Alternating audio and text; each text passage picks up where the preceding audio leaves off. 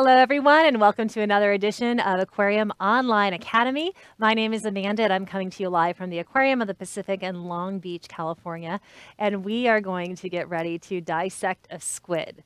Now, before we get started, let me give you a word of warning. Uh, if you are someone who gets queasy easily, you're okay. You can watch with us for a little while. Uh, we are not going to be getting into the uh, squid. We're not really going to open it up till at least another 15 minutes from now. So if you're looking through and you're like, I just only care about what's inside, then you might want to wait a little bit later because there's so much to discover and appreciate about this animal on the outside that we're going to take a close look at. But I think you'll find it very interesting uh, because it's not every day that you get to look so closely at such a unique animal.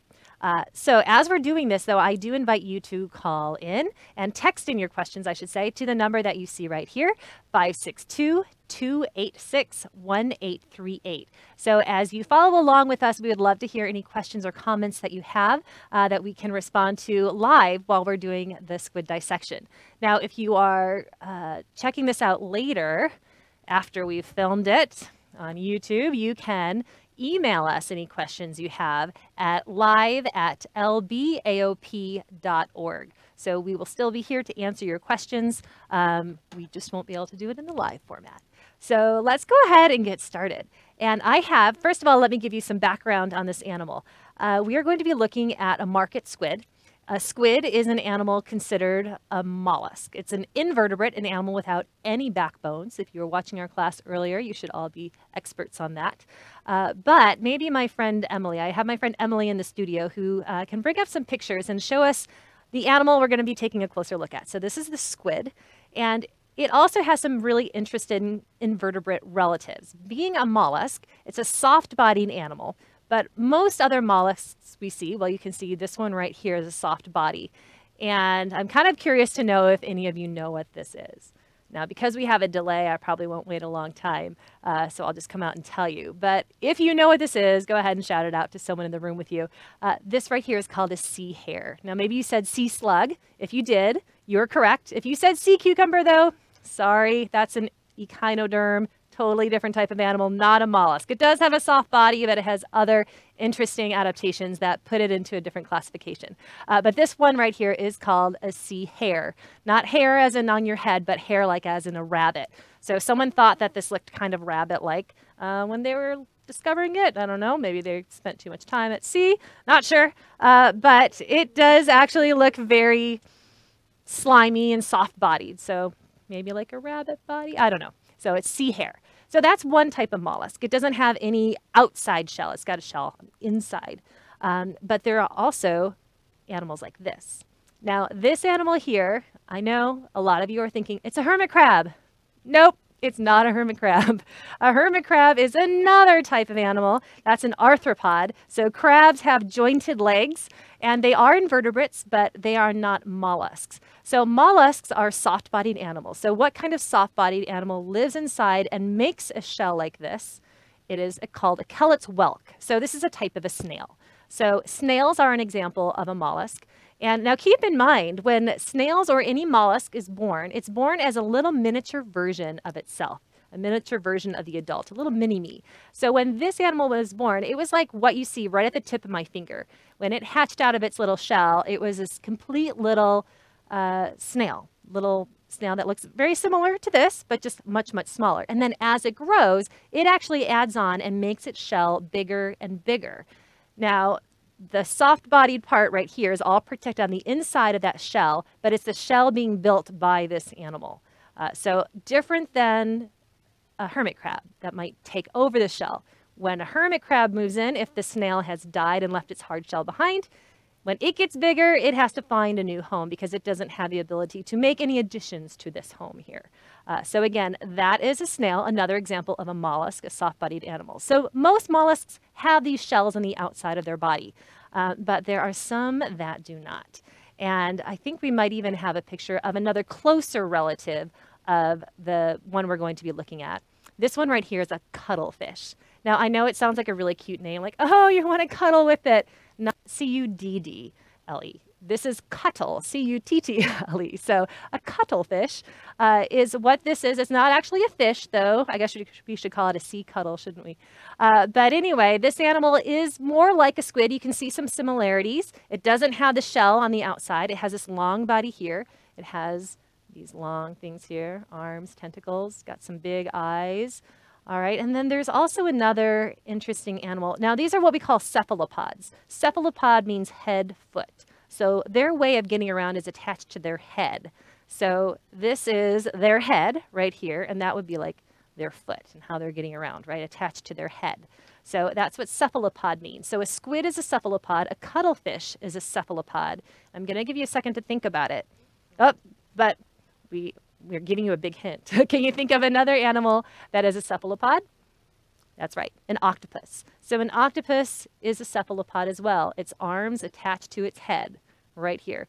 Very cool animals. I know a lot of you probably uh, think octopuses are very cool and have some good questions about them, but we're going to focus in on the squid and what makes them so special. But we'll look at what makes them um, invertebrates, we'll look at what makes them mollusks, we'll look at what makes them cephalopods. Uh, so the cephalopods that I brought, I actually brought two with me.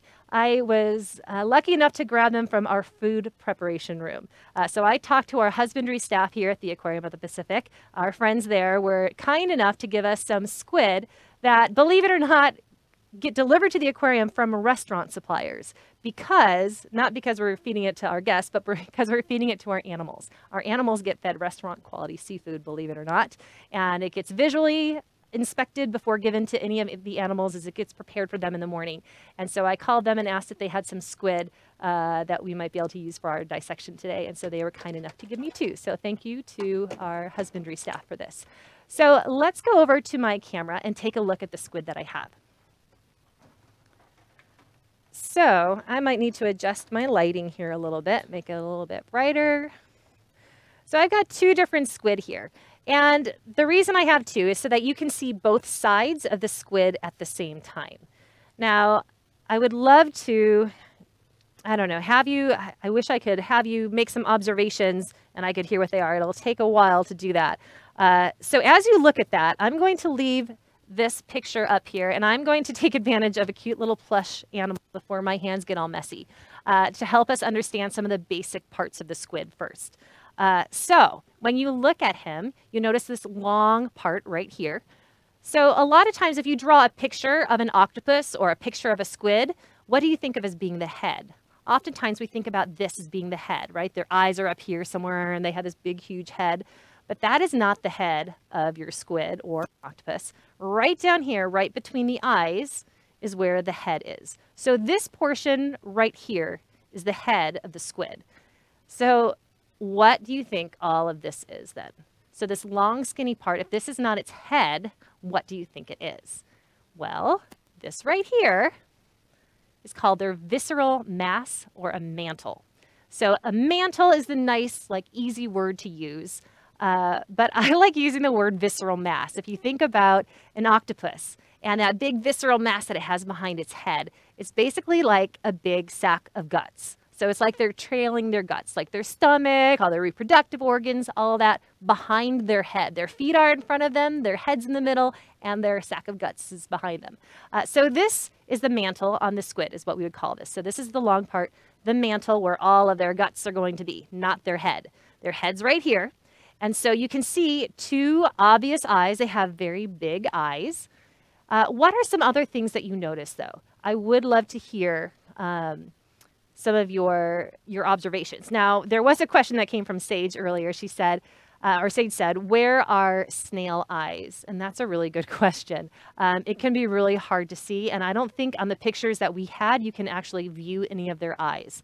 Um, and all the examples I have right here, like our abalone shell, uh, you can't really see where they would be. Their eyes would be up here up underneath the underside, but they do have eyes. They do have the ability to see, um, but most of the time it's very difficult to see. You have to get like just the right angle and have one who's not feeling too shy and not too hidden inside of his shell. But they do have them. It's not on their shell, but it's underneath their shell, facing forward where they can see. All right, but here we don't have any problem locating the eyes of our squid. Now, also, look down here And think about, we said that the octopus has how many arms? Actually, we didn't say it, but I think you know already. How many arms does an octopus have? Eight. So my question for you is how many arms do you think a squid has? Well, if you look at them, it's really hard to tell. So I'm going to help you out by coming over here and making it a little bit easier to see. So let's go ahead and count the arms together. We've got one, we've got a fly, uh, two, three, four, five, six, seven, and eight. So just like his octopus cousin, uh, these have eight arms. But you might also notice, wait, there's what are those two other things looking like spaghetti that are hanging down? I don't know if any of you know what they are, but these are what you might call tentacles. So there's actually a difference between the arms and the tentacles of our squid. Now, if I try to zoom in a little bit closer, maybe you'll be able to tell some differences yourself. So, and we even have a graphic that will show you that'll be a little bit easier. But first, I want you guys to look and see what kinds of things you notice. So again, these are all arms. These two are the tentacles. And if you look at, I can try to get the little tips of the tentacles in there you can kind of see what they look like. Um, let me help you out. If you're having a hard time figuring out, I don't know, how are they different? Uh, let's take a look at this graphic that we have, that a little illustration that will show. An arm of a squid, kind of thick, and it goes all the way, all the way to the end of the arm. Notice how thick it is. It has suction cups. Now, what's really, really cool about squid suction cups is they have little tiny teeth inside of them. So when they stick onto something, they basically have the ability to bite into it as well. So it's very different than the smooth suction cups on an octopus. So they don't have the teeth in them, but the squid does. So they have all these suction cups going all the way down to the end of their arm that have these suction cups uh, with teeth in them. And then the tentacles are actually much longer than the arms are and I can't trace this very well backwards.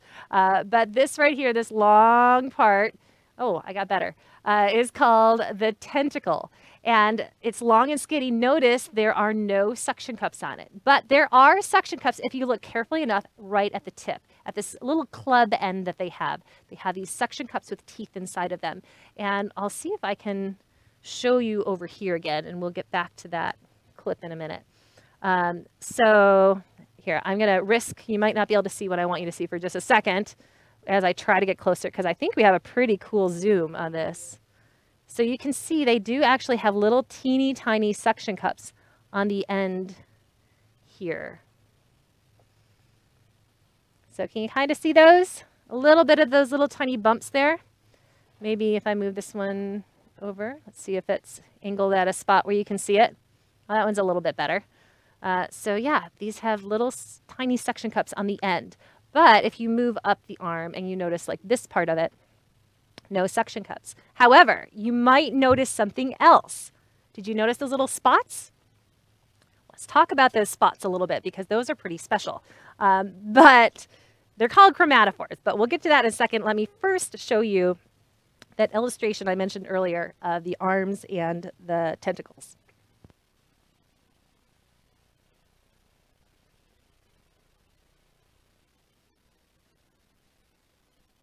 the video that goes along with this. Yeah, we're going to try to pull that up. Sorry, I forgot it wasn't automatically behind it. So this right here is a cuttlefish. Look at this. Whoa. All right, so I want you to notice how they're using their tentacles versus their arms. Oh, that poor little crab. His moments are numbered. He's going to try his best to hide, but it may be to no avail because of this cephalopod here. Huh. So now do you have an idea why they might have arms and tentacles? Because my question would be, why not have just 10 arms or 10 tentacles? Why both? They must have some purpose. So their purpose is a little bit different. And you can probably tell me after watching that video how they use their tentacles differently than how they use their arms. Um, all right, so when they were grabbing their food, what did they use? Did they use their arms to initially grab the food or they use the tentacles? The tentacles, right? They're much longer, so they can reach out a farther distance. But notice he didn't have them out long the whole time. They were kind of in, and then they shot out really, really fast. Grab the food with those suction cups and those teeth right there on the end. And then where do they bring those tentacles? So they brought those tentacles and that food up underneath where all the arms are. Remember, there's eight of these. Notice how thicker, how much thicker they are than the skinny tentacles here. So these are really good for long reach reaches. These are really good for being strong and holding it in um, closer to where their mouth is. So let's take a closer look again. And did you notice how they changed color? I think that's one of the most fascinating things about that video is watching them change their color. They change their color with these things called chromatophores that you can see all over here. And it kind of distracts their prey and kind of mesmerizes them probably. I know it's kind of mesmerizing just watching them. Um, and so it allows them to grab their prey quickly and then use those suction cups and bring it up to its mouth. So you can probably guess where their mouth would be right on the inside here. So right where all those arms come together. But take a look at all of those chromatophores. So these chromatophores allow the change the squid to change their color instantaneously. And it happens because they have all of these little or they have all these muscles around them that can expand and contract these different pigmented um, these chromatophores. So it looks like according to this one, they all kind of look like a blackish color. But oftentimes you'll see, maybe if I move it over to this squid, you can see kind of some purple color, kind of purples and pinks in there. If I turn them to this side, you might notice something a little bit different. Uh, but mostly dark. But they have pinks and reds, browns, uh, blacks are usually the colors that we see on our squid. And if they wanted to be all black, what they can do is open up the muscles around those chromatophores and you'll see a lot of black if they want, or brown. And then if they want to close it, they contract those, bring them much smaller, and then you'll see more of this white color here. So they have control over that. And sometimes if we're messing around with it, we end up um, kind of breaking up some of those chromatophores as we're moving it and kind of breaking up some of those, those muscles around so it gets a little bit darker. But again, chromatophores.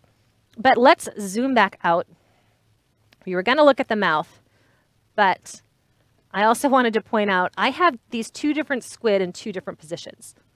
This one right here has this point above its head. Do you see that?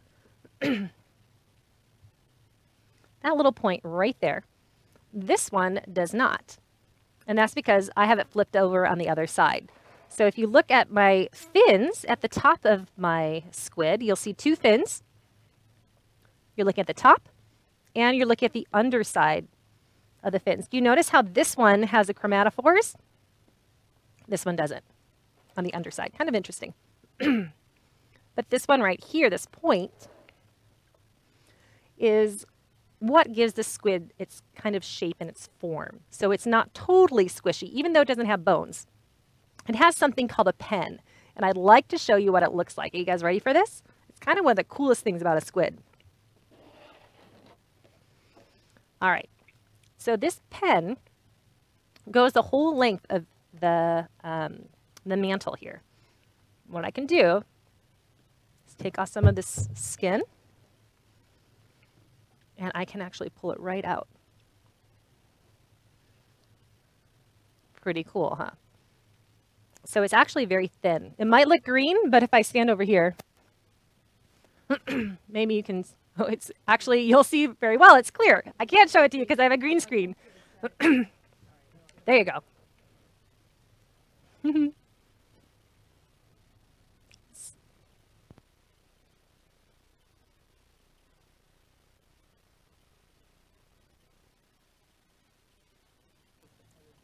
All right. So I realized with a, a green screen behind me, it, it really is clear, so you'd see through it anyway. but it is um, a clear. It's called chitin is the material that it's made out of. So it's not bone, it's not cartilage. Uh, it looks like plastic, but it's not plastic. It is completely organic, made by the animal. It's animal made, not man made. Uh, but this is what gives it its structure. So now it has a much flimsier body without the pen in it. Uh, but it does have a very uh, stiff point to it. And you can find this. This is along the dorsal side or the back side of, of the squid. Now, if I flip him over to the other side, where he appears to be lighter, but again, keep in mind, if this squid was alive, he could change his color. So this could be just as dark if he wanted to be. But they have this really cool floppy thing right here.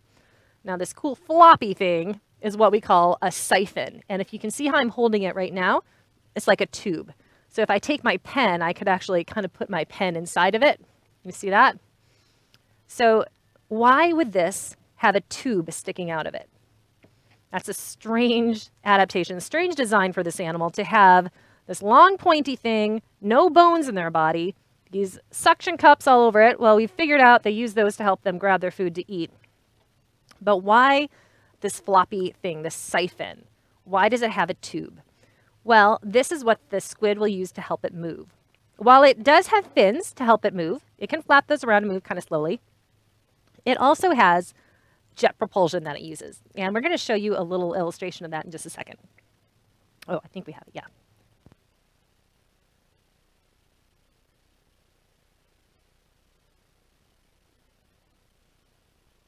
As you look at this, this is pretty cool. They're actually bringing up the water up underneath their mantle. So the mantle has, oops, you won't be able to see it here. Uh, the mantle, they hold in all the water up underneath their mantle and then they squirt it out through the siphon. So as they squirt the water out this direction through their siphon, what way is the squid going to go? It's going to go the opposite way, right? So they move using that siphon right there. They'll bring the water up underneath their mantle. So right underneath this big long part right here and then they then they can close it off. They have muscles that will bring it all together so that they squirt all the water out through the siphon. So they can move water out their siphon to help them jet very quickly away from things. Um, their fins help them move a, li a little, but not quite as much as a siphon. But the siphon also has an opening for other things to come out. You can probably think of some other things that could come out of a squid. Could be um, waste could be ink. Um, those are the types of things that come out of that opening. Thank you. Uh, so I want to show you because we are going to run out of time if I don't quickly get into this. I did mention that we would look at the mouth. Right here is where their beak is. And if I actually reach in, I can pull this beak out. So the mouth of the squid is very different. Now, if you look at this, you can see this long tube. You can probably guess what that is too. That is the esophagus. But this is a big mass of muscle, this buccal mass all around the mouth. So I'm going to try to, this might not be so pretty, but I'm just going to pull this out. Just with my fingers.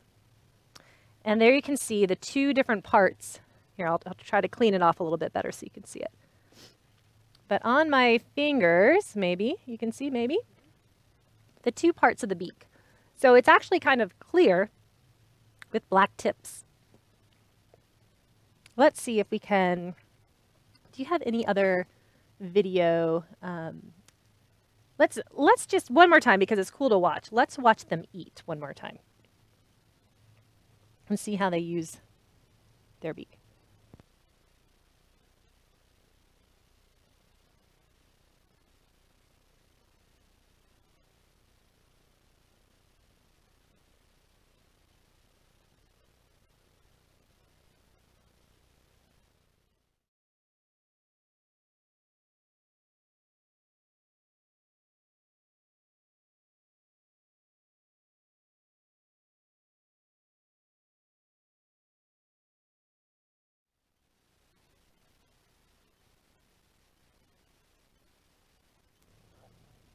All right. All right. So thanks for hanging in with us there. So you've got the arms surrounded or surrounding the beak. And that beak is like the beak of a bird. It's the only hard part, really, besides uh, that long pen that's kind of on the squid's body. But now let's look at what's on the inside. So once the food travels from the mouth into the body, we're going to do a little dissection. This is actually the simplest dissection you could ever do uh, because all we do when you're wanting to look inside the squid is turn it so that it's siphon side up so that we can see the siphon. That means both the fins are flat back against the plate. And you do a nice shallow cut right up through the mantle.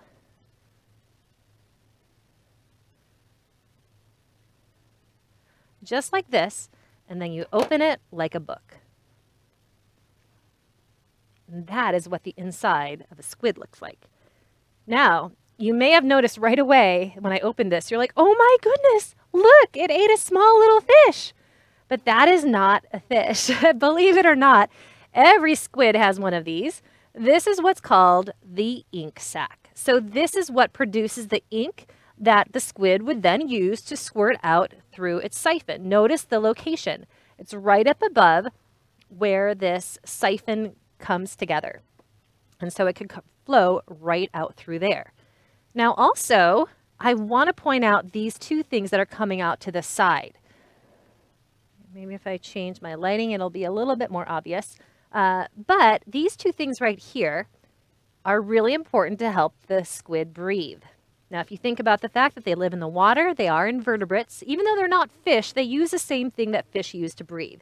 What do fish use? They use gills. So these are the gills of the squid that they use to help them breathe. Remember, up underneath the mantle, all that water is coming in up here. And so those gills can get that oxygenated uh, water and then send it through the rest of their body by using their heart. Now, their heart, look at this right here. You see this? Kind of yellowish blob here. That is one of their three hearts. They actually have three hearts right next to each other. Um, they have branchial hearts that will actually get the um, help move the oxygen coming from the gills through the rest of their body. Now, if you look at this, I want to actually open up this other one and have, I'm keeping my fingers crossed that it's, it's a little bit different, but I'm going to open it up. Let's take a look inside of this squid and see if it looks the same. Ah, good. It looks different. Do you notice some differences? Ooh, let me try to adjust it. It is kind of bright. Here, that's a, a little bit better, I think. But look, this one over here on the left has this big white mass here and all this sort of yellowish stuff up here. It kind of looks like Vaseline, whereas this one is all white and it doesn't have this big white mass here. And I'd like to see if I can even zoom in. Let's see how powerful this uh, camera is. Maybe I'm asking too much of it. We'll see. You can kind of see. This one isn't quite as, maybe as beautiful and obvious as some other ones. Um, but what you're looking at here are the eggs. So this squid that I have on the left is a female. And the squid over here is a male. So these are his reproductive organs. And this, these are the eggs, but this is an important part for the female as well. This white mass here that we don't have on the male is what's called a nidamental gland. And so the squid will use the nidamental gland in helping harden her eggs and help packaging them up so that she can lay them at the bottom of the ocean floor. When squid lay eggs, they actually look what we actually refer to them as squid fingers. Uh, they look like they're long fingers, and each one of these squid fingers has all sorts, has hundreds of these little tiny eggs um, that are fertilized um, from the male, from the sperm. And uh, they deposit them all together at the same time at the bottom of the ocean. And they don't blend in very well. They kind of stick out like a sore thumb. When you come across, um, after squid have mated, you'll see all these big, it almost looks like white bushes in the bottom of the ocean. So it's a very obvious target for any predator. So after the squid mate, they die. And the adults basically sacrifice themselves for the greater chance of survival for their offspring. Because if you think about it, if you're a hungry predator, you come across these little tiny eggs or these big juicy adults, what one are you going to want to go after, right? Big juicy adults. Uh, so they sacrifice their lives for the sake of their offspring. Uh, so these squid will never get to know their children. These poor little baby squid won't know their parents. They'll be on their own from the moment they hatch. Uh, but I just did want to point out, again, those differences. Um, the You can see the ink sac here, and if I do cut it open, I can even take my pen and you'll get to see some of that, some of the ink come out. Doesn't have a whole lot of it in there, but they actually did used to use uh, squid ink uh, for other purposes of, well, as, as ink, honestly. Uh, not on a regular basis, but fishermen would use it as they needed to. So, ah, okay. That is a harder question to show you on here. So the question is, where do squid poop from? Where is their anus? Well, it's actually, everything's going to end up being emptied out here through the siphon. Um, and I actually can't show you very well on here. Uh, it's hard to see on the female with this nidamental gland because um, she's kind of covering over some of some of her internal organs. Um, but on the male, let's see. I actually have a hard time telling you exactly where that is. Let's see what. Mm, I don't know. It's, so it's gonna kind of blend in with this area. Here's the ink sac here, so it should be somewhere in this area that I'm looking at. So sorry, it's kind of hard to see. Um, and shoot, we are out of time again. Um, and I didn't even, one other really cool thing about the squid, when we were talking about the chromatophores, um, is that it's actually these chromatophores are in a very thin layer on the squid's body. So you can actually remove the chromatophores. If I pull this off, you can see I'm actually removing the chromatophore layer. It's almost like a clear layer of cellophane or, or clear plastic wrap that has all of the, the chromatophores on it. So this is the part um, so their body itself is actually kind of a, a, clear kind of cream color and the chromatophores are just a layering over the top of it. Um, and let me just see.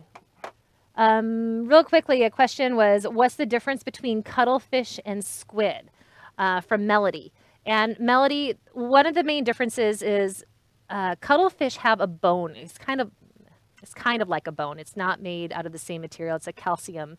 Um, oh, what is the calcium bone and calcium carbonate bone that um, is inside of them. It's kind of long and wide on the inside, and the squid only have this pen. So the squid don't have the same structure that a cuttlefish does.